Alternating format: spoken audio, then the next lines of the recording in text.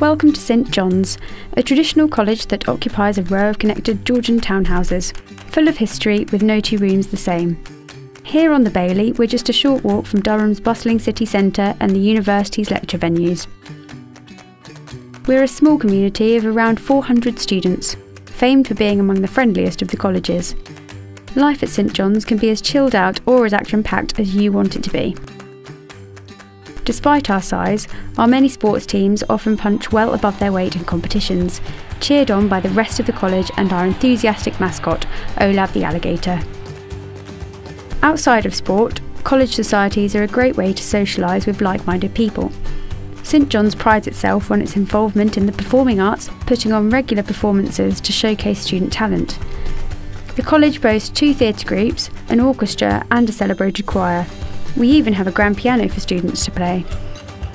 Out of all of the colleges, St John's is renowned for having the best food, giving us a great excuse to dress up in our academic gowns for weekly formal dinners. Everyone gets to know pretty much everyone else at St John's. We're definitely a unique college, a great place to study with a vibrant community and a hub of university life.